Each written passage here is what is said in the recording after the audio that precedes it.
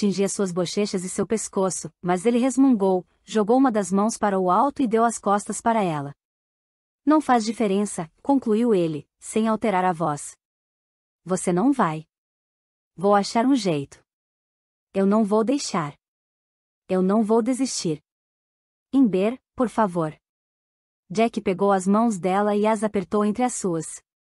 Você não sabe o que fariam com você lá. Aquele pessoal não confia em bruxas. Aliás, quando uma bruxa é descoberta, ela é transportada para a capital, e nunca mais se ouve falar dela. E eu acho que algumas, algumas foram destruídas. Quando você chegou aqui, um vento de bruxaria soprou.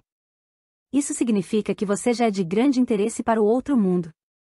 Se eles souberem que você está aqui, vão levá-la embora e eu nunca mais a verei. Nem eu sei exatamente o que acontece com essas bruxas especiais. Você precisa entender como isso é perigoso. Eu não contei a eles sobre você justamente por isso. Não contei para ninguém. Nem o meu superior sabe que você existe. Tomei muito cuidado para não deixá-lo chegar perto do vilarejo, muito menos de você. Mas por quê? Perguntou ela. Por que detestam tanto as bruxas? Eles não detestam as bruxas. É mais medo, na verdade. Pelo menos foi o que me disseram. Vai saber quanto disso é verdade. Com um suspiro, Jack se sentou na mureta de pedra e cruzou as pernas na altura das canelas. Por favor, Jack, insistiu em Ber, e tocou o braço dele. Ele quase não conseguiu se segurar. Começou a falar. Há muito tempo, as bruxas mandavam no outro mundo. Então a bruxa superior se casou com um homem e lhe deu o poder de governar. Ele se auto-intitulou o Senhor do Outro Mundo. Outras bruxas protestaram, questionando o direito dele de governar, mas depois pararam, apesar de estarem preocupadas por ele ter conseguido autonomia tão rápido. Agora, o reino todo opera por poder de bruxa. Poder de bruxa? É, em vez de velas, os habitantes do outro mundo usam lâmpadas de bruxa, que se acendem com o toque de um botão. Há construções altas, algumas com cinco andares, com caixas movidas a vapor que carregam as pessoas até o topo. E existem máquinas que fazem de tudo, desde a colheita até o controle do clima, passando por produção de tecidos. A luz de bruxaria aquece as casas e o vapor do caldeirão serve de combustível para transportes aéreos, barcos e vagões de aço tão grandes que carregam uma dúzia de pessoas ou mais sobre trilhos que conectam cidades. Imber sentou-se bem devagar ao lado dele. A gente é capaz de fazer isso? Perguntou ela, estupefata. O poder de vocês, sim. Sua luz de bruxaria inata, em particular, é muito poderosa, sobretudo para alguém tão jovem e praticamente sem instrução. Ele fez uma pausa para organizar os pensamentos. Mas o fato de o outro mundo ter avançado tão além dos humanos desequilibrou os reinos. O reino mortal e o outro mundo repousam em uma camada fina e precária, separados apenas por encruzilhadas em locais fixos, como o meu.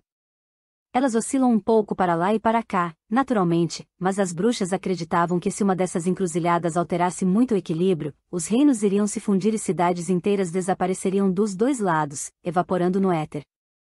Então, as bruxas não ficaram nada contentes e reclamaram, protestando em defesa da expulsão do senhor do outro mundo de sua posição superior.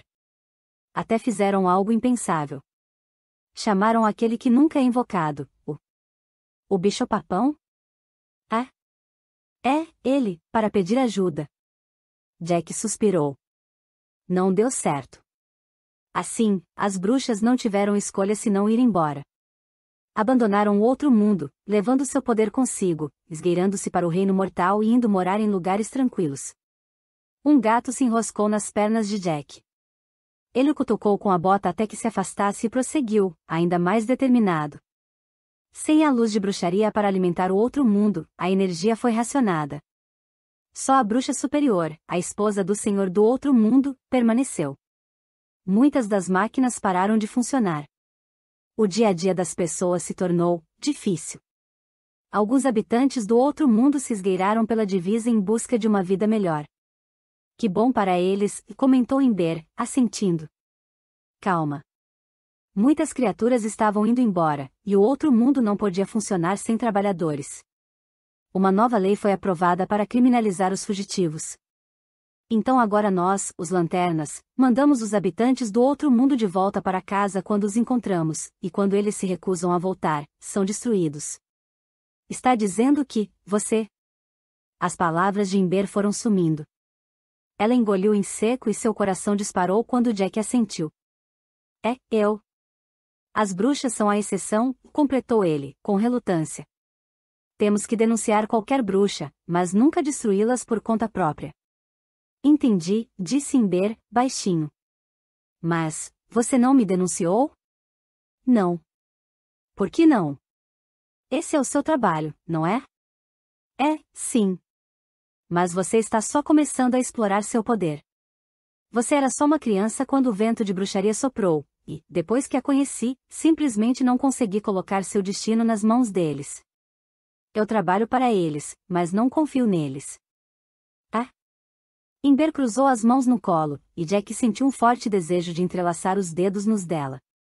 Agora você entende por que é perigoso para você ficar aqui, tão perto da encruzilhada?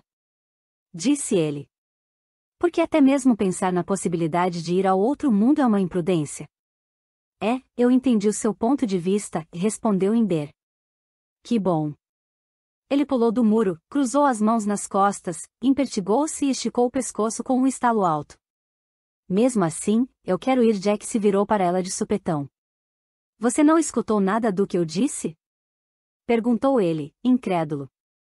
Escutei, sim. É só que eu sinto, eu sinto uma atração. Não consigo explicar muito bem. Não exatamente. É como se estivesse sendo chamada. Imber abaixou a mão em um gesto automático quando sentiu o rabo roçando sua perna, e fez um carinho na cabeça do gato, que miava.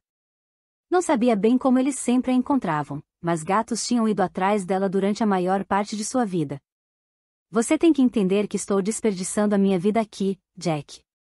Eu preciso explorar, ver o mundo. As pessoas do meu vilarejo são boas, mas só querem que eu arrume um marido e tenha filhos.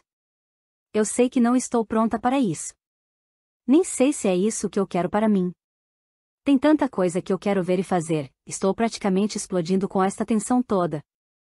Então, Jack retesou os músculos do maxilar. Então faça uma viagem. Migre para o sul com os pássaros. Vá visitar uma cidade grande com a sua tia. Visite até a cidade vizinha, mas conhecer o outro mundo não pode ser o seu objetivo. É perigoso demais.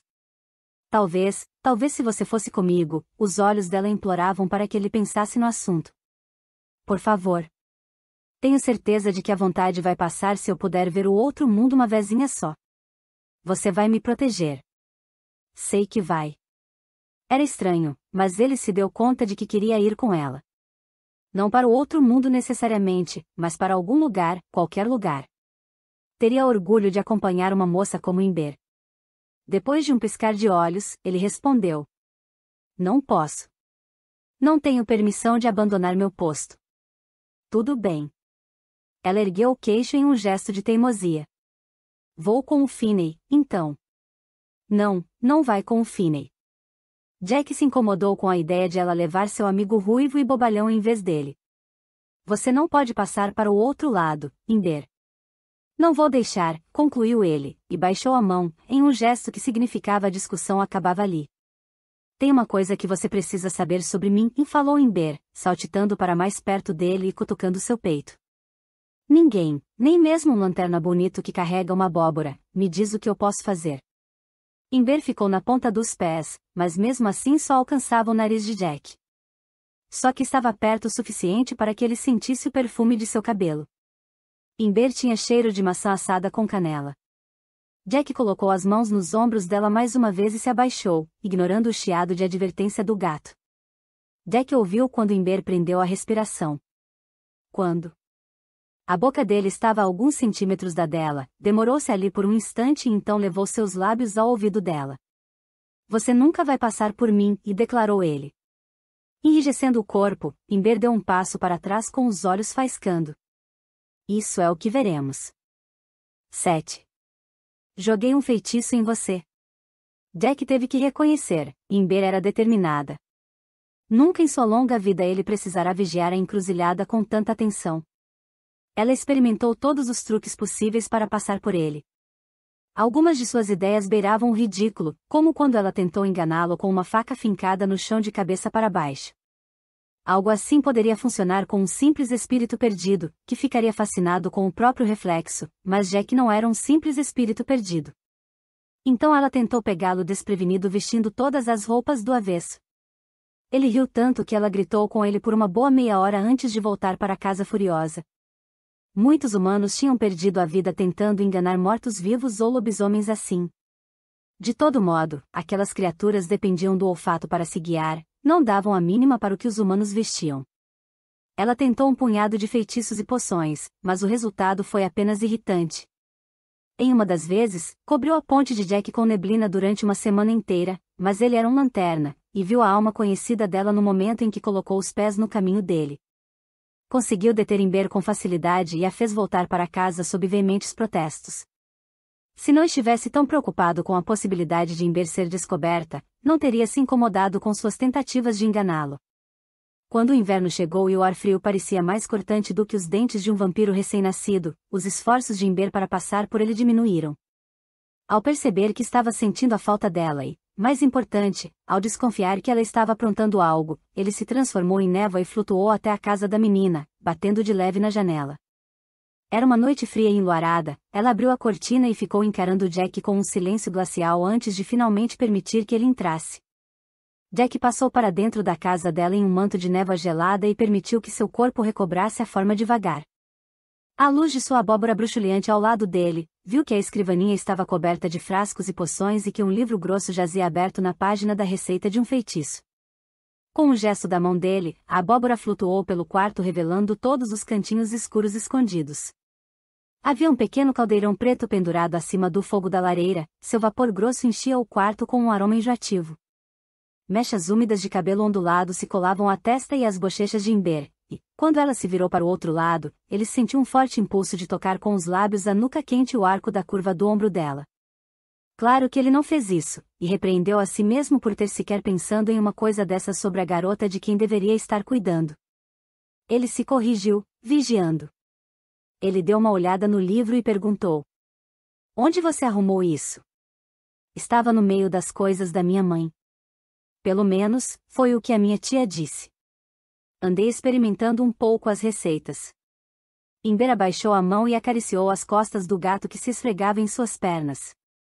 Os olhos verdes do animal a encaravam e Imber poderia jurar que sentia um par de braços fantasmagóricos em volta de si. Seja lá o que ou quem tivesse sido sua mãe, Imber gostava da ideia de ter sido amada no passado. Jack franziu a testa, passou o dedo pela borda quente do caldeirão e torceu o nariz. Parece que sim, balbuciou ele. O que é isto aqui? Jack fez uma careta com o cheiro enquanto mexia a mistura. Se a sua intenção é me expulsar da cidade com este fedor, talvez você alcance mesmo seu objetivo. Fique quieto, reclamou Imber. Flossie acabou de ir para a cama. Flossie? É o nome do seu gatinho novo? Não. Eu acabei de descobrir que o meu falecido tio-avô costumava chamar minha tia-avó de Flossie em vez de Florence, o nome real dela. Era um apelido, e eu gosto de como ela sorri quando eu falo assim. Flossie, e repetiu Jack. Ele ficou se perguntando se deveria chamar Ember de outra coisa que não o nome dela. Por mais que ele tentasse pensar em algo diferente, apenas o brasa lhe vinha à mente. Você ainda não respondeu à minha pergunta, retomou ele, dessa vez mais baixo. O que está fazendo assim tão ocupada? Não é da sua conta. Jack se inclinou, chegando mais perto de Ember, o suficiente para que ela prendesse a respiração, o que ele esperava que fosse uma boa reação à sua proximidade.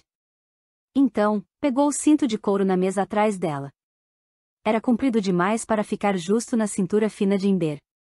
Pode-se dizer, considerando o número de compartimentos do cinto, que se parecia mais com uma cartucheira, apesar de ele não saber que tipo de projétil caberia naqueles bolsinhos. Então, ele deu mais uma olhada no caldeirão e viu uma fileira de garrafinhas de vidro, cada uma do tamanho de seu polegar, todas fechadas com rolha. Algumas estavam cheias de líquidos de cores variadas, extratos e tinturas, outras continham somente uma substância gasosa, enquanto havia aquelas que pareciam vazias. Mas, com seus olhos de lanterna, ele viu um brilho ou um leve toque de cor em cada uma delas. Jack levou o cinto até a lareira, ajoelhou-se, pegou uma garrafinha e enfiou-a certinho em um dos compartimentos. Ela se acomodou ali como se fosse uma bala. Pegou uma segunda garrafinha e deixou que a luz de sua abóbora recaísse sobre ela. Um feitiço sonífero? Perguntou ele. Imber, eu detesto ter que informar, mas um vampiro ou um lobisomem acabariam com você muito antes que conseguisse jogar esses líquidos neles. Eu admiro a sua criatividade, mas. Eu não preciso chegar perto, rebateu Imber. Jack pousou o frasquinho de vidro com cuidado. Como assim? Perguntou ele. Como ela não respondeu, mas se moveu de leve para esconder uma gaveta com a saia, ele afastou para o lado e abriu a gaveta. Lá dentro, embaladas em um pano de veludo vermelho, havia duas pistolas de cano curto com a boca larga. Eram pesadas, com os canos e os gatilhos feitos de latão polido. Ele nunca tinha visto pistolas assim. Onde você arrumou isso? Quis saber ele. Finney fez para mim. Finney, e repetiu Jack. É. E por acaso Finney sabe o que você é? O que pretende fazer? Ele sabe que eu sou uma bruxa, respondeu com orgulho. Fora isso, não sabe mais nada. Certo. Então, o que vai acontecer quando você carregar esta arma com uma das suas garrafinhas de vidro e o feitiço explodir em cima de você em vez de no seu inimigo? As garrafinhas não são enfiadas no cano. Elas vão aqui e aqui, explicou ela. Pegando as armas, colocou não uma, mas duas garrafinhas dentro de cada boca larga e encurtada. O vidro ficava para fora na parte de baixo, perto do gatilho. E, enfim, continuou, você pode escolher o feitiço que quer usar virando esta alavanca para a direita ou para a esquerda. Em uma luta corpo a corpo, o vidro ainda assim pode quebrar, argumentou Jack. Aconteceu uma vez e admitiu Imber. Por sorte, só estávamos usando bombas de fedor. Elas, supostamente, espantam os vampiros. Finney teve que tomar cinco banhos para se livrar do cheiro. Pelo menos essa notícia fez Jack se sentir melhor. Depois disso, eu coloquei um encanto no vidro.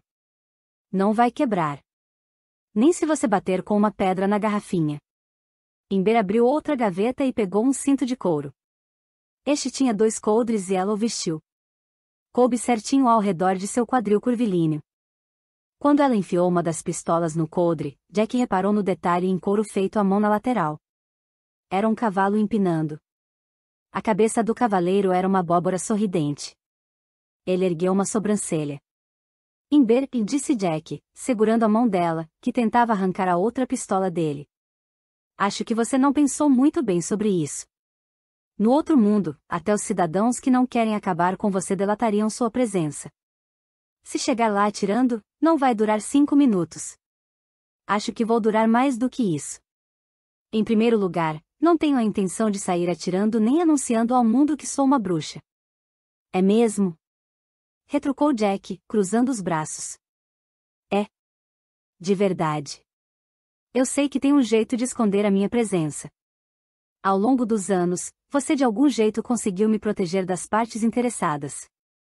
Eu vi todos os seus círculos de sal e tenho certeza de que você tem alguns truques na manga que ainda não compartilhou. Mas, como não vai me ajudar, eu vi como você se cobre com a sua capa, e Finney acha que faltam poucas semanas para ele conseguir criar algo parecido que vai funcionar para mim. Jack engoliu em seco. Seu pomo de Adão, que subia e descia, era o único indício de que estava preocupado que as coisas estivessem saindo do controle. Imber prosseguiu. No que diz respeito às minhas pistolas, o que você não sabe é que a minha munição vai durar muito mais tempo do que você pensa. Sabe, continuou ela, apontando para as garrafinhas, cada vez que eu atiro sai apenas a quantidade de poção necessária para derrubar uma vítima. Cada garrafinha contém o suficiente para seis a oito tiros, dependendo do feitiço. Tenho a minha cartucheira com mais garrafinhas, além de uma capa com bolsos para carregar munição extra. Se por acaso eu ficar sem, posso fazer mais com meus pacotes de ingredientes secos. Também posso colher mais ingredientes, se eles existirem no outro mundo. Com um floreio, ela soltou um nó e desenrolou um pacotinho bem feito, cheio de bolsos. Estavam estofados com garrafinhas vazias, um pilão pequeno, bisturis de vários tamanhos, pacotes de ervas secas, saquinhos molengas e fragrantes, colheres dosadoras, um cinzel, um martelinho, pipetas, pinças, facas, tesouras, tenazes, pincéis e pós. Tudo estava meticulosamente organizado. Você andou ocupada. Jack ergueu uma pistola para examiná-la. Então, como faz para atirar? Perguntou. Seu interesse encobria o instinto de passar um sermão nela a respeito dos perigos do outro mundo. Além do mais, ele sempre teria tempo para isso. O lanterna virou a pistola um pouco, olhou dentro do cano e abriu o compartimento de munição. Ele não via qualquer câmara de bala, pólvora, pederneira ou soquete. Só uma placa brilhante no lugar onde o gatilho encostaria. Essa é a beleza desta pistola. Só uma bruxa pode usar esta arma. Eu disparo usando o poder de bruxa ou a luz de bruxaria, ou seja lá como você chama. Jack ficou paralisado. Como assim? Sabe como é, poder de bruxa. Foi você que me contou que é isso que move tudo no outro mundo. Eu só descobri como funciona. Em vez de pederneira ou fogo, encosto o polegar na placa, e quando puxo o gatilho para acionar o tiro, bum. Imber viu a expressão boquiaberta de Jack e suspirou. É muito fácil mesmo. Venha. Eu mostro. Imber pegou a capa e algumas garrafinhas de poção, ergueu a saia e passou a perna por cima do parapeito da janela. A lua estava escondida atrás das nuvens quando ela foi se esgueirando por uma trilha em meio às árvores cerradas. Jack foi atrás, imaginando o que poderia ter feito ou dito de diferente para colocá-la em um caminho mais seguro. Ela o levou até o antigo cemitério. Não o que ele tinha criado para manter as pessoas longe, mas o outro, o verdadeiro, perto das plantações de milho. Imber se ajoelhou atrás de uma lápide, apoiou o braço por cima da pedra e então posicionou a arma. Com cuidado, mirou com um cano, usando um velho espantalho como alvo, e passou a alavanca para a direita. Jack olhou para baixo e viu que a garrafinha continha um gás verde nebuloso. O que tem aí dentro? Perguntou Jack. A voz dele rangia de nervosismo, como se fosse uma cadeira de balanço velha que tivesse sido deixada na chuva. Um tipo de nuvem ácida, foi a resposta dela. Ácido? Sibilou Jack. Acho que a gente devia escolher algo menos tóxico. Tarde demais, e disse Imber, com um sorriso. Ela estava tocando a tira de metal com o polegar, que ficou vermelha de tão quente. Então o gatilho disparou com um clique e se ouviu um pompe, como uma rolha que tivesse sido tirada de uma garrafa de vinho. Um jato verde sobrevoou o campo e, quando acertou o espantalho, explodiu em uma nuvem. Não se passou nem um momento e se ouviu um chiado enquanto a cabeça de abóbora derretia em uma pilha de meleca e caía no chão, ao lado de uma pilha de roupa descartada, palha fumegante e uma estrutura de madeira escurecida. Jack engoliu em seco e ajeitou o colarinho, que de repente parecia muito apertado em volta do pescoço. Deu uma olhada para a própria abóbora sorridente, todo atrapalhado com as palavras. Isso, isso é. Incrível? Fantástico? Completou Ember, toda orgulhosa. Terrível! exclamou Jack. Um, não. Acho que a palavra que você está buscando é genial. Jack ia dizer a Ember como este exercício de criar armas de bruxaria era, no mínimo, imprudente, mas deixou a cabeça pender para o lado. Um cheiro conhecido tinha aguçado seu olfato. Vampiros, o balbuciou ele, mal abrindo a boca. É mesmo? Imber retesou o corpo e olhou ao redor, destemida. Abaixe-se. Berrou Jack, e pegou a mão dela, puxando-a até que estivesse encolhida ao lado dele. Você quer morrer? Talvez eu precise conhecer mais um habitante do outro mundo para ouvir uma segunda opinião, argumentou ela. Além do mais, não era para ele ter mais medo de você do que você tem dele? Atrair um vampiro é tolice, respondeu Jack, ignorando a pergunta de Imber. Ela não estava errada, e aquilo o incomodava. Fique aqui. Vou resolver isso e aí a gente pode terminar esta conversa, afirmou Lanterna. Jack, você não entende. Está doendo. Ela piscou e seus olhos ficaram marejados enquanto ela esfregava a barriga. Eu preciso. Eu. Jack segurou o rosto de Imber e tocou as curvas delicadas das bochechas da garota com os polegares, percorrendo-as com delicadeza.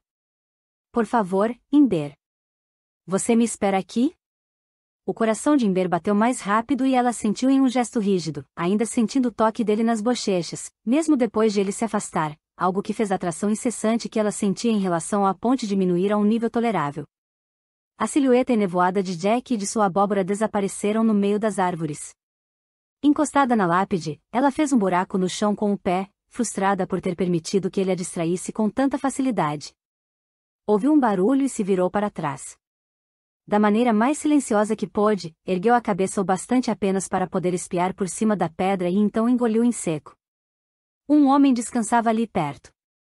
Estava sentado em um banco de pedra com o braço estendido de forma desleixada por cima da lápide mais próxima e uma das pernas pendurada por cima da lateral do banco. Enquanto ele a balançava em um gesto preguiçoso, observava-a com olhos brilhantes. Ela não tinha escutado quando ele se aproximou e, ao olhar para baixo, não viu. Nenhuma pegada além das suas e de Jack.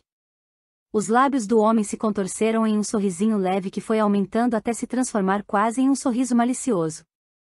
Aquilo deixou Ember muito incomodada. Oi para você, lhe disse o homem. Oi, respondeu Ember, apoiando-se na lápide para ficar de pé. Ela ergueu a pistola e preparou o gatilho. Para sua consternação, o homem pareceu completamente despreocupado com o fato de ter uma arma apontada para ele. Ah! Que decepção, me disse ele. Eu estava esperando que você fosse uma boa anfitriã e me oferecesse algo para beber. 8. Algo ruim está por vir.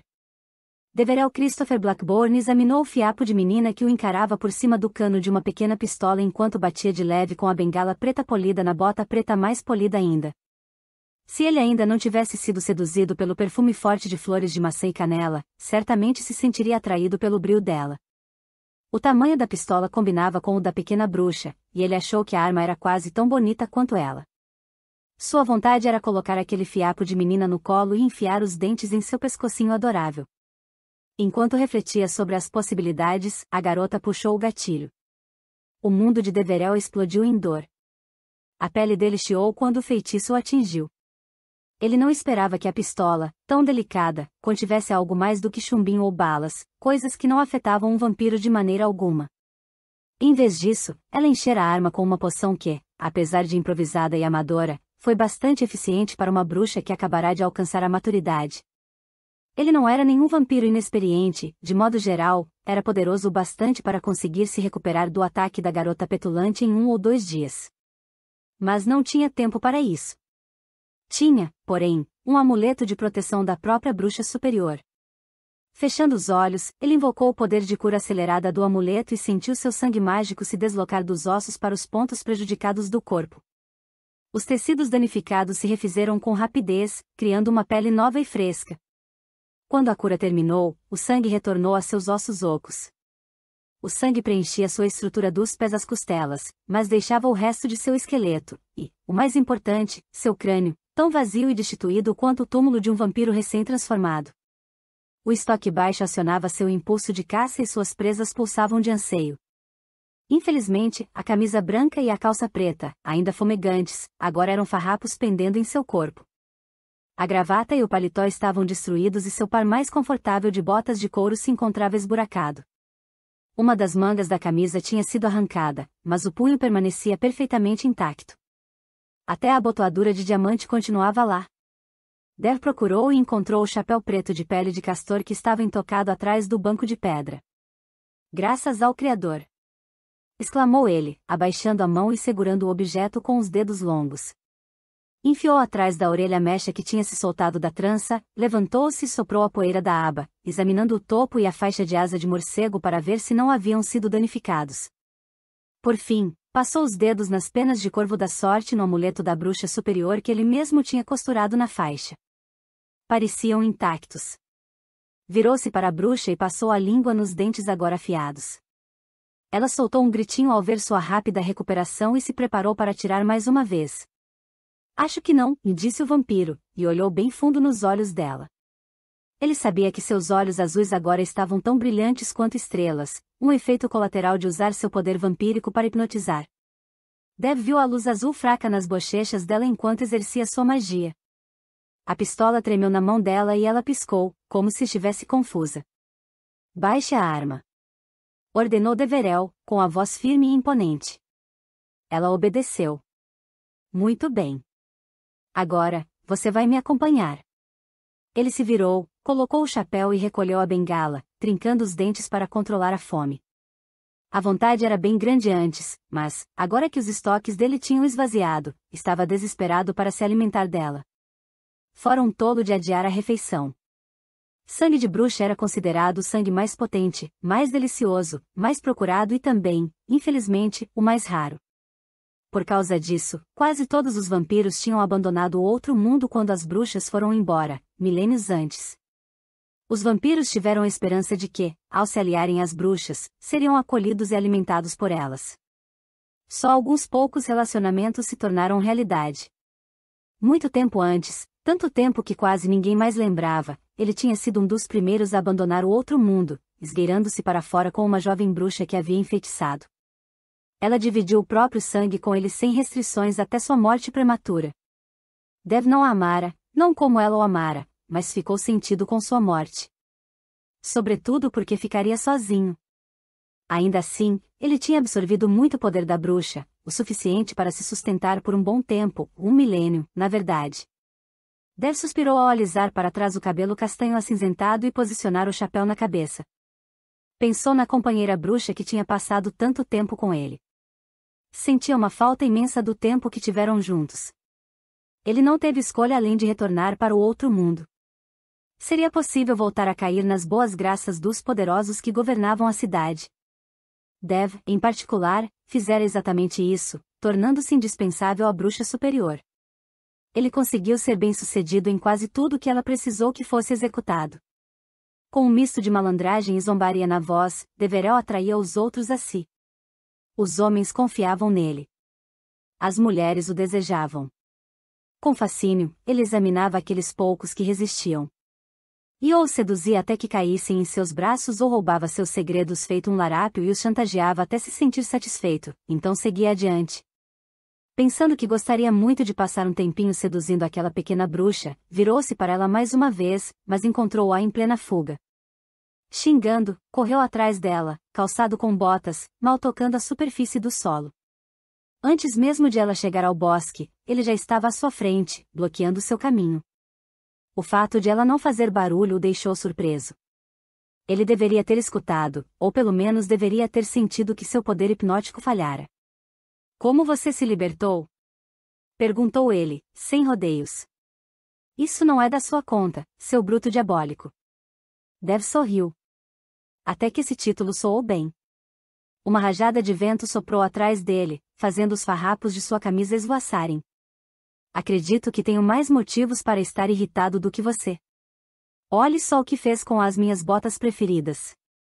Ele virou o pé de um lado para outro e ergueu uma sobrancelha em sinal de satisfação quando Imber desviou os olhos do rosto para a bota dele. Apenas uma garota solidária olharia. Ele poderia usar isso a seu favor. A jovem bruxa apertou os lábios, mas não baixou a arma. O que você está fazendo aqui? Perguntou ela. Quer destruir a minha cidade?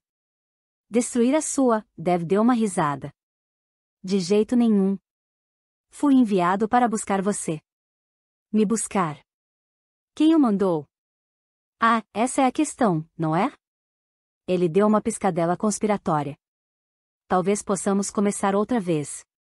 O vampiro levou a mão ao peito e alisou a camisa por cima dos músculos. Deverá o Christopher Blackburn, a seu dispor. Ele fez uma mesura, sem deixar de fitar os olhos dela. Indiferente à arma apontada para ele, ergueu-se e disse: E posso perguntar qual é o seu nome? Meu nome é Imber. Imber. Um nome adorável para uma bruxa ainda mais adorável. Talvez você devesse parar de tentar me seduzir e me contar logo qual é o seu objetivo. Em resumo, preciso encontrar você e levá-la até o outro mundo. O queixo de Imber caiu. Deverel ficou animado de ouvir o coração dela disparar e ver a pulsação acelerar em seu pescoço delicado. Ele tiraria proveito de se dar ao trabalho de seduzi-la. Se ela era poderosa o suficiente para se livrar do efeito hipnótico dele com tanta rapidez, então a jovem Imber definitivamente era uma garota que ele queria conhecer. Posso supor que já tenha ouvido falar sobre o lugar? Perguntou Dev. Imber ergueu o queixo e endireitou a coluna. Provavelmente se esforçou para parecer intimidadora, mas sua estatura era quase tão intimidadora quanto a de um gatinho. Ouvi, sim, e respondeu ela. E está interessada em conhecer? Estou, sim, e respondeu ela com sinceridade, na medida em que a atração à ponte de Jack se intensificava mais uma vez. Só não sei muito bem se você é um bom acompanhante. Deverel enfiou a bengala na terra e a girou de um lado para o outro, como quem não quer nada, enfim deixando de olhar para a menina. Reconheço que não estou vestido com tanto refinamento quanto de costume, mas devo lembrá-la que a atual situação de minhas vestes é inteiramente culpa sua. Será que posso perguntar quem você acha que deve ser seu acompanhante? Jack, respondeu ela no mesmo instante. Jack, repetiu Dev, franzindo a testa. Está falando do Jack que é um lanterna? Ela hesitou. Sim, e respondeu finalmente. Dev deu uma risadinha e cobriu a boca com a mão, como se estivesse envergonhado, mas logo pediu desculpas. O que tem de tão engraçado nisso? Perguntou Ember. É que é divertido saber que você se sentiria mais segura com o Jack impiedoso do que com um dos vampiros mais poderosos do outro mundo. Por que você o chama assim? Ela baixou um pouco a pistola e Deverel lhe lançou um sorriso caloroso. Foi desconcertante perceber que a bruxinha já tinha um relacionamento com o lanterna. O fato de Jack não tê-la denunciado significava que a garota era importante para ele por algum motivo. Des sabia que não havia como lanterna, que cercar o vilarejo todo com sal, ter falhado em suas obrigações a tal ponto de nunca ter notado uma bruxa crescendo praticamente embaixo do seu nariz. Para a sorte de Dev, chovera na noite anterior, então passar pelo sal, apesar de doloroso, não foi mortífero. Ele tinha conseguido distrair o lanterna com um rolo de vapor que soltava uma grande variedade de odores, sons e sinais ao mesmo tempo que deixavam um número desconcertante de rastros em várias direções. O fato de Jack ainda não ter se dado conta de que estava correndo atrás de nada surpreendeu Dev, ainda mais porque o vampiro sabia que o rapaz fora treinado pelo próprio Rune. Naquele momento, o lanterna provavelmente estava confuso, imaginando como um gnomo, um casaco de couro, um gatuno, um vampiro e uma colônia de morcegos reforçados de metal vindos do outro mundo tinham ido parar na floresta dele. Ainda assim, logo estaria de volta. Dev precisava fazer com que a bruxa atravessasse a barreira o mais rápido possível. Ele não podia correr qualquer risco e sem dúvida não queria encarar o lanterna. Provavelmente venceria, mas isso teria um preço. Deve estalou a língua. Eu contaria a história dele para você, querida, mas acredito que Jack impiedoso pode voltar a qualquer momento e acabar rapidinho com nosso encontro encantador. Ele se inclinou para frente e disse: Sabe o que ele vai fazer comigo se me encontrar? Imber engoliu em seco e baixou a pistola ainda mais. O que? O que ele vai fazer? Perguntou ela. Vai lançar a luz dele para cima de mim. Isso dói um bocado o poder do lanterna vai me debilitar por um bom tempo. E vai me banir para o outro mundo, sabe? Eu só conseguiria voltar para buscar você depois de muito tempo, se é que algum dia voltaria. Imagino que ele ficaria ainda mais cauteloso depois disso. O vampiro coçou o queixo. Aquele lá é muito poderoso. Não tem muita coisa que passe por ele. É verdade, concordou Ember. Quando enxergou o olhar de desejo no rosto dela, Dev percebeu que tinha vencido. Mas primeiro preciso ir até minha casa pegar minhas coisas, e concluiu ela, enfim. É claro. Posso ajudar? Imber mordeu o lábio, examinou o vampiro de cima a baixo e então fez que não com a cabeça. Prefiro encontrar com você na encruzilhada, se não se importar. Não me importo nem um pouco, respondeu o vampiro sedutor. Esperar uma mulher bonita faz a ansiedade aumentar, de modo que o homem pode apreciar sua chegada ainda mais. Até logo. Enquanto Deve esperava na encruzilhada, tirou do bolso da capa uma corujinha com um mecanismo de rodas dentadas e engrenagens e uma carta, e leu a mensagem da bruxa superior mais uma vez. Estou confiando a você uma tarefa muito perigosa, que necessita ser executada com o máximo de discrição e segredo. Há uma jovem bruxa que eu detectei e que precisa ser acompanhada ao outro mundo. Use de qualquer meio para trazê-la aqui, mas não a machuque. Inclui um amuleto para sua proteção, além de metade do seu pagamento. Já foi depositado pelo seu método de preferência. O pagamento final será feito após a tarefa estar concluída. Depois de tirar de dentro da capa um pedaço novo de pergaminho e uma pena, ele mesmo começou a escrever uma mensagem. Localizei a bruxa e vou levá-la comigo imediatamente. Partindo do princípio de que tudo correrá bem, devemos chegar em uma semana. O lanterna está envolvido na história, por isso serão necessárias medidas para evitar que ele perceba. Esta pode ser minha última mensagem até eu chegar. Quando terminou, Dev prendeu o pergaminho ao bico da coruja. Satisfeito, deu corda nela e então ligou a luz de bruxaria para alimentar o aparelho. A coruja se ergueu no ar, batendo as asas, disparou pela ponte e desapareceu na névoa. 9. Funcionando igual a um reloginho. Ela ficou paralisada no meio da floresta durante um momento, se perguntando se estava fazendo a coisa certa. Então, sentindo uma pontada dolorosa na barriga que a puxava para o outro mundo, resolveu não pensar demais e correu para a janela do quarto, a respiração formando vapor à sua frente. Quando voltou para o quarto, vestiu as roupas de viagem mais quentes e mais práticas que tinha. Colocou a calça de couro e jogou mais dois vestidos na mala. Encheu o restante do espaço com garrafinhas, livros, um caldeirão pequeno e seu pacote de suprimentos. Acrescentou duas garrafas de água e um pacote de frutas secas, carne seca e biscoitos. O fogo na barriga ardeu ainda mais, sobretudo quando os gatos de Flossie se enroscaram em suas pernas, miando de maneira comovente. Imber colocou as duas pistolas nos coldres e então vestiu a capa forrada de bolsos. Pronta, ela se esgueirou para fora de casa pela segunda vez naquela noite. Escreveu um bilhete para Finney e o escondeu bem no fundo da árvore do Vale Sonolento onde tinham treinado com as pistolas de cano curto, pedindo a ele que tomasse conta da tia dela e agradecendo por ter ajudado com os feitiços. Pediu que não se preocupasse com ela, apesar de saber que era em vão.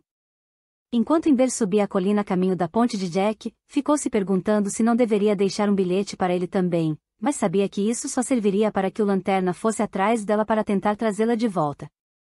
Desejou poder se despedir. Já andando mais devagar por causa da mala que carregava, Imber arrastou-se pela neve e parou logo antes da ponte. Deverel a observava, com os olhos brilhando, e a examinou em silêncio por um momento, tentando determinar a melhor abordagem para conquistar a confiança da bruxa. Saiu do meio das árvores e surgiu atrás dela em um instante. Uma bruxa treinada já teria sentido sua presença, o fato confirmou sua suspeita de que não havia ninguém por ali para ensinar a garota a arte da bruxaria, e isso explicava por que ela havia lançado mão de fazer feitiços e poções. Então, está pronta? Perguntou Dev. A garota se virou para trás, de supetão. Ah? Você me assustou. Peço desculpas. Não era minha intenção. Eu estava, me escondendo do seu lanterna, justificou ele, contando uma meia-verdade. Acho que ele não machucaria você, ponderou Ember, defendendo Jack.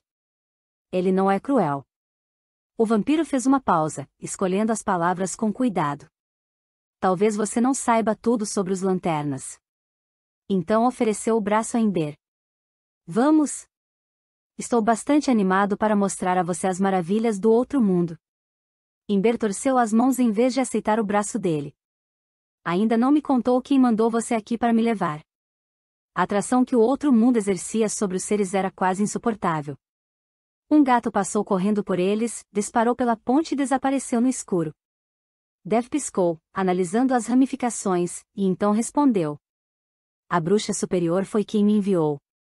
Ela sentiu que existia uma nova bruxa com poder suficiente para passar para o outro lado e pediu que eu a encontrasse e então entrasse em contato com ela. Acredito que ela queira conhecer você. A própria bruxa superior? Ela foi tomada pela suavidade e pela calma. Quando pensou na bruxa superior, toda a dúvida e hesitação caíram por terra feito folhas de outono sob um vento forte. É. Então, se não se importar, eu gostaria de sair daqui antes que o seu lanterna volte. Prometo responder a todas as suas perguntas do outro lado. Muito bem. Suponho que conhecer uma pessoa não possa fazer mal, disse Imber, quase que em transe. Ela enlaçou o braço no de Dev e declarou: Estou pronta. Dev ficou se perguntando se era verdade. A bruxa meiga era muito inocente. Quase fazia com que ele se sentisse culpado. Quase. Agora, seguro e firme, pediu ele. Talvez doa um pouco. O vampiro pisou na ponte e seguiu em frente. No começo, Imber não sentiu nada. Então sua pele ficou vermelha e quente e seu corpo todo se arrepiou. Ela tremeu e viu a pele pálida do vampiro também passar para um tom de vermelho sinistro. Imber fez uma pausa, mas o vampiro puxou seu braço. Não pode parar. Berrou ele enquanto o vento quente se agitava ao redor. Se parar, vai ser consumida pelo fogo dos infernos. Fogo dos infernos? Berrou Imber em resposta. Ela não gostou nada de ouvir isso. A certa altura, sentiu as amarras de seu mundo perderem a força e algo novo começou a puxá-la para frente. Seu coração vibrou de emoção quando pensou no que encontraria. O outro mundo era, com certeza, um lugar cheio de mistério e milagres, mas também sentiu uma espécie de melancolia ao pensar que seu guardião de tanto tempo havia ficado para trás. Ao chegarem à outra extremidade da ponte, Imber reparou que a madeira que rangia tinha se transformado em suportes, vigas e reforços de ferro. O ar também tinha um cheiro diferente. Quase como fogo misturado com terra e minério deixavam um gosto metálico na língua. Continuaram caminhando na direção da encosta da colina, deixando a ponte para trás. À sua frente se estendia uma cidade ampla de prédios altos. Cada um deles tinha uma chaminé que soltava montes de nuvens negras que se juntavam e pairavam feito uma névoa cinzenta sobre a cidade. A atração persistente não a abandonara, mas tinha se acalmado um pouco. A sensação também diminuía quando ela estava perto de Jack, mas, agora que finalmente tinha ido ao outro mundo, ela se sentiu adequada, centrada, como se ali fosse seu lugar. O grande mundo aberto estava a seus pés e ela tinha vontade de abrir os braços e abraçar a sua totalidade. Bem-vinda a Pennyport, uma das cidades mais interessantes do outro mundo. Vamos, e chamou ele, puxando-a adiante. A cabeça de Imber estava cheia de perguntas. Então a encruzilhada de Jack está conectada a Pennyport especificamente? Deverel tinha pressa de levar Imber para longe da encruzilhada e do lanterna. Existem tantos oceanos, cidades e continentes no outro mundo quanto no seu mundo, mas são muito poucos os pontos de acesso entre eles. O seu lanterna é capaz de acessar qualquer uma de cinco cidades pela ponte dele. Esta foi a que eu escolhi. Só precisamos pensar na cidade aonde queremos ir. A ponte lê a sua intenção enquanto você atravessa. Então eu poderia ter ido parar em qualquer lugar se tivesse tentado vir sozinha.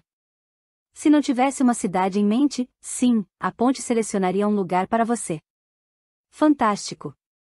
Imber escutou um ruído e engoliu em seco quando uma máquina grande começou a colher grãos em uma plantação próxima. Curiosa, perguntou: O que é aquilo? É uma colhedeira de engrenagem, e respondeu ele. E onde estão os cavalos para puxar? Não precisamos de cavalos aqui, apesar de existirem criações deles. Nossas máquinas são movidas à luz de bruxaria. Como é que funciona? A máquina sentiu a sua luz de bruxaria e começou a funcionar. Imber ficou olhando para ele, boquiaberta. Você está dizendo que eu estou fazendo aquele aparelho funcionar? Neste momento? Sim, minha cara. Imber olhou para a extensão da vasta plantação e viu meia dúzia de pessoas circulando por entre os cereais que se agitavam com o vento.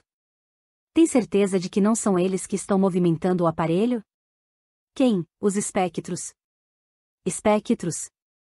Quando Dev fez esse comentário, Imber percebeu que conseguia enxergar através das pessoas o cereal que estava por trás e que as pessoas que faziam a colheita não tinham nada nas mãos.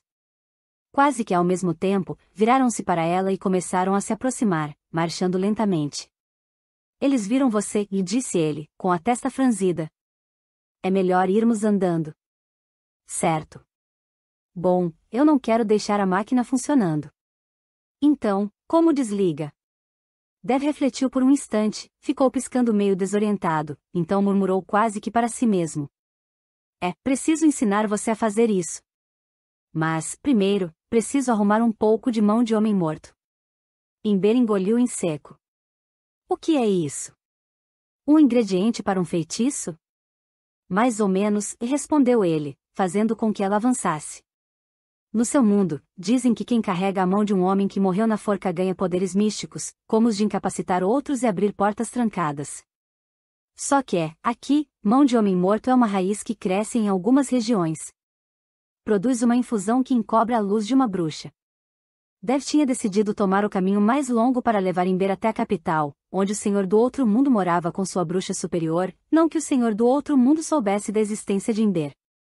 Não. A bruxa superior tinha sido muito clara em relação a como o vampiro deveria entregar a garota. Ainda assim, o Senhor do Outro Mundo tinha espiões em toda parte, e isso significava que Imber corria o risco de ser descoberta, mesmo ali, em um posto avançado. Dev teria que protegê-la. Não se preocupe, tranquilizou ele. Eu escolhi esta cidade de propósito. Sei onde encontrar a infusão. Sabe? É uma taverna chamada Bússola de Latão. O proprietário me deve um favor. Tenho certeza de que ele vai preparar uma quantidade suficiente de infusão para que você tenha a liberdade de viajar durante vários dias sem ser notada. Perfeito. Então, vamos. Dev pegou a mão de Imber e a puxou. No entanto, você não passará nada despercebida no caminho até a cidade. Cada luminária, cada campainha e cada apito, cada aparelho daqui até a taverna vai anunciar a sua presença, igualzinho àquela colhedeira lá atrás. E quando eu digo que uma bruxa é valiosa, quero dizer que ela é valiosa como prisioneira. Além de o seu sangue valer uma fortuna, seu poder também pode ser armazenado ou a bruxa pode ser vendida a quem pagar mais. Ah? Ela ergueu os olhos. A máquina ainda estava funcionando, lançando nuvens de vapor do cano que ficava no alto da máquina à medida que ceifava fileira após fileira de milho maduro. Imber tentou sentir a força que a máquina puxava dela para se mover, mas, além de uma leve cócega no abdômen, minúscula em comparação com a atração que ela sentia pelo outro mundo em si, não sentia nada. Então, o que vamos fazer? Não quero virar prisioneira. Eu também não quero que isso aconteça, concordou o vampiro enquanto coçava o queixo e olhava para ela com muita atenção. É bem fácil de resolver. Eu só preciso tirar mais ou menos metade do seu sangue. 10. Um beijo de vampiro. É o único jeito, Imber. Sem tirar o seu sangue, você vai chamar tanta atenção quanto um cavalo de chapéu. Não se preocupe com a dor. A mordida de um vampiro é tão prazerosa quanto um beijo. Bom, pelo menos os meus beijos. Imber cruzou os braços. E se eu não quiser? Não posso tirar o sangue de uma bruxa sem o consentimento explícito dela. E se você estiver mentindo em relação ao motivo para querer o meu sangue? Sabe de uma coisa? Vou fazer uma promessa de vampiro. Ele mordeu o próprio pulso, as presas furando a pele como se fosse papel de arroz. O sangue saiu nos dois pontos quando ele estendeu o pulso para ela. Sangue de vampiro não mente. Encoste a língua no meu pulso e você vai saber que as minhas palavras reverberam a verdade. Além do mais, os vampiros são forçados a honrar promessas com um juramento de sangue. Imber olhou para ele, cética, mas encostou a ponta da língua em uma das gotas de sangue. Ela sentiu uma onda de doçura, como se tivesse lambido uma colher de açúcar. Pronto, disse o vampiro. Agora, escute com atenção. Eu prometo que não vou matar você, nem vou transformar você em meia vampira. Só quero ajudá-la a chegar à cidade sem que ninguém perceba. Imber examinou o rosto dele enquanto ele proferia aquelas palavras e seu coração bateu rápido. Sentiu um tinido nas veias, uma onda quente que confirmava o que havia sido dito. Ela sabia que ele estava falando a verdade, da mesma maneira que sabia que o sol brilhava ou que a água era molhada. Mas a água tinha um tom um pouco turvo. Tinha algo que não estava correto, algo que ele não tinha revelado. Dev poderia ter se amaldiçoado por adicionar aquela última parte. Era o só que causará problema. Certamente queria mais de Imber do que só ajudá-la a chegar à cidade. Ele percebeu no rosto dela que a garota tinha captado a distorção, mas ela ainda assim assentiu e falou que ele podia fazer como dissera. Venha comigo, chamou ele, e a guiou a um pequeno abrigo. Uma luz fraca se acendeu no alto quando ela entrou. Imber olhou para cima e ficou maravilhada com a fileira de luzes pendentes. Os tubos tinham sido soprados de modo a ficarem mais largos na parte de baixo, como se fossem pequenas cabaças de pescoço comprido. Saiu vapor do alto de cada tubo, e os filamentos, que se assemelhavam a fios grossos de palha de milho, esquentaram e se tornaram mais brilhantes. Além disso, os canos começaram a assobiar e o aposento se encheu de vapor. Dev ficou preocupado que o sistema logo entrasse em colapso se ele não tirasse um pouco do poder da bruxa. Tente diminuir a força que você emana, pediu Dev. Como? Imagine que você está controlando um incêndio. Imagine que está apagando as chamas com água ou chutando uma camada de areia fria por cima de carvões quentes. Imber fechou os olhos e se concentrou nas cócegas em sua barriga, tentando visualizar a si mesma bebendo um balde de água gelada. Assim está melhor, falou Dev quando o assobio parou e as luzes, cuja intensidade estava se aproximando à do sol, diminuíram para um nível normal. Você aprende rápido. Agora, podemos começar? Ele conduziu Imber, relutante, até uma mesa de madeira e envolveu a cintura dela com as mãos. Quando a colocou sobre o tampo da mesa, ela soltou um gritinho de susto e recuou para longe dele.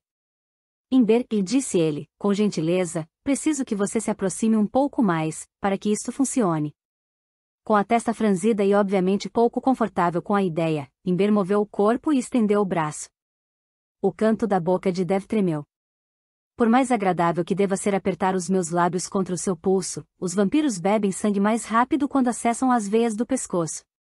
Imber levou os dedos ao pescoço e deslizou o cabelo para o lado com determinação.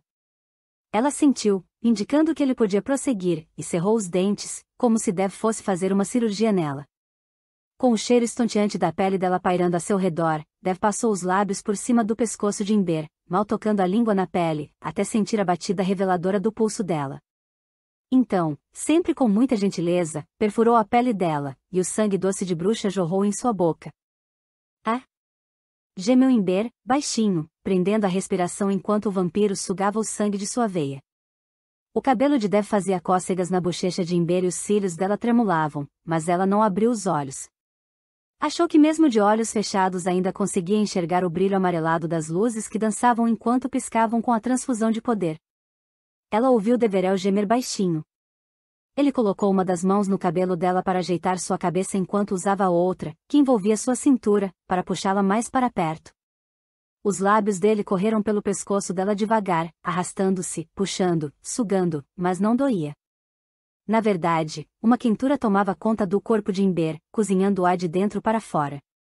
Aquilo a fazia pensar em seus dias preguiçosos, quando se deitava sobre um cobertor na campina, cochilando sob o sol quente do verão. No começo, foi só gostoso. Depois ficou mais do que gostoso. Uma espécie de urgência tomou conta dela. O sol quente já não era mais suficiente. Ela queria ficar mais próxima dele. O sol queimava, mas ela não se incomodava. Queria mais. Ela sentiu mais do que ouviu quando ele balbuciou algo contra seu pescoço, então seus braços se apertaram quando uma luz desabrochou ao redor dela em uma explosão tão brilhante que ela não conseguia enxergar, não conseguia escutar. A luz se dissipou lentamente, conforme foi diminuindo, a mente de Imber foi libertada. Ela balançava de leve, deixando-se flutuar entre camadas macias e anuviadas de semiconsciência, aproveitando o espaço escuro entre dormir e acordar. Era um bom lugar para estar agradável e livre de preocupações. Era como se todas as coisas de que ela gostava estivessem reunidas em uma sensação. Era sua manta preferida em uma noite de inverno, pétalas de rosa roçando sua mão, o sabor dos pãezinhos frescos da tia com manteiga, o estalo de um vestido recém-lavado antes de ser pendurado no varal e o corpo quente de um gato ronronando acomodado no espaço entre seu braço e seu travesseiro.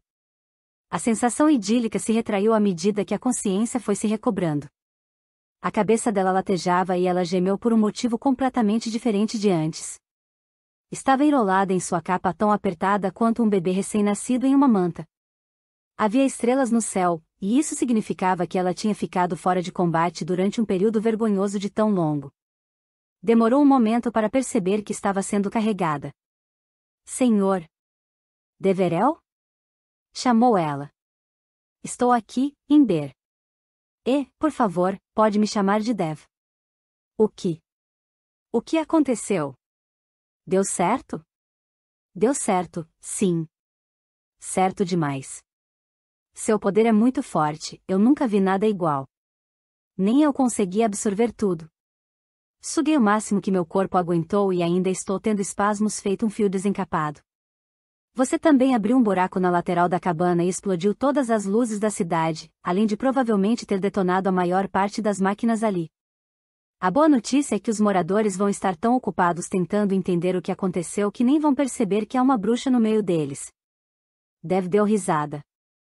Suponho que essa seja uma das maneiras de andar por aí sem ser notada. Imber se contorceu dentro da capa. Pode me colocar no chão agora. Acho que consigo andar. Tem certeza? O sorriso de Dev era ainda mais visível no escuro, seus dentes brilhando ao luar. Imber não conseguia mais enxergar as pontas afiadas das presas dele, agora recolhidas, e achou que isso provavelmente era bom. Você me deu energia suficiente para carregá-la ao redor do outro mundo oito vezes, e completou ele. Isso, é bom, acho, disse Imber. Ele a colocou no chão com cuidado, e os pés dela, calçados com botas, bateram nos paralelepípedos. A cidade tinha um cheiro frio e úmido, o ardido da fumaça fazia cócegas em seu nariz. Com cautela, Imber abriu a capa e conferiu os bolsos fundos para ter certeza de que ainda carregava todas as suas garrafinhas. Está tudo comigo, se é isso que quer saber, avisou Deverel, apontando para a bolsa que trazia pendurada no ombro. Suas armas estão aqui dentro. Obrigada. Posso carregar agora. Não precisa, respondeu o vampiro. Como eu disse, tenho energia suficiente para voar até a lua e voltar. O mínimo que posso fazer é me oferecer para carregar sua mala. Apesar da minha forma de abordagem, eu de fato me considero algo como um cavalheiro. De onde saiu isso? pensou ele. Dev já tinha dito coisas assim antes, mas, com Imber, falava com sinceridade. A bruxa ergueu uma sobrancelha. Se Deverel, o vampiro, era considerado um cavalheiro no outro mundo, então ela estava em uma enrascada. Ele parecia totalmente indiferente ao fato de que grande parte de seu peito estava exposto. Ainda vestia seu paletó destruído, mas o corte era propositalmente amplo, para revelar o lindo colete que ele usava antes. Imber ficou se perguntando onde estavam os restos da camisa dele e teve uma vaga lembrança de quando ela rasgara com os dedos. Um calor lhe subiu pelo pescoço e ela jogou a capa para ele. Pronto. Você precisa disto mais do que eu agora. Parece que alguém o atacou. Dev sorriu. E fui atacado mesmo. Eu teria orgulho em contar a história da bruxa, ou, pensando melhor, eu talvez devesse falar bruta, que me deixou imóvel. Ela era um amor, mas implacável, brandiu seu mosquete com um cano cerrado, depois me forçou a tirar a camisa engomada e a gravata para que pudesse fazer o que bem entendesse comigo. O queixo de Imber caiu. Não foi nada disso que aconteceu. Talvez não, o provocou Deval jogar a capa por cima dos ombros com mais floreios do que Imber jamais seria capaz de fazer. Mas você precisa reconhecer que a minha versão é muito mais interessante. Imber inclinou a cabeça para o lado. Você não é nem um pouco como eu achei que um vampiro seria. Obrigado, eu acho, agradeceu ele, enfiando uma mecha do cabelo castanho atrás da orelha. E você é bem diferente das bruxas que eu conheço. Você conhece muitas? Bruxas, quero dizer. Conheci algumas, respondeu ele, enquanto percorriam o caminho de paralelepípedos. Fique perto de mim agora. A maior parte dos habitantes do outro mundo evita vampiros, e provavelmente vai achar que você também é uma vampira. Alguns aldeões se juntaram a eles na estrada e Imber não pôde deixar de ficar boquiaberta com a variedade de seres. Ela viu um homem tão alto e magro que praticamente conseguia enxergar através dele. Ele ergueu o chapéu coco que usava e lançou um sorriso esquelético para ela. Um homem baixinho e corpulento veio na direção deles. Usava um avental manchado de vermelho e carregava uma bolsa de couro a tiracolo. Quando ele ergueu os olhos, ela viu que tinha um brilho vermelho. Ele avançou apressado, ignorando o olhar fixo de Imber. Havia uma mulher gorda andando pelo caminho que cruzava com o deles. No começo, Imber só a enxergou de perfil. Ela tinha a forma de um barril e não dava para distinguir sua cintura. Seu vestido parecia um saco de batata e o cabelo dela caía em cordas longas e murchas. Quando ela se virou, Imber pôde dar uma boa olhada e estremeceu. O nariz da mulher era tão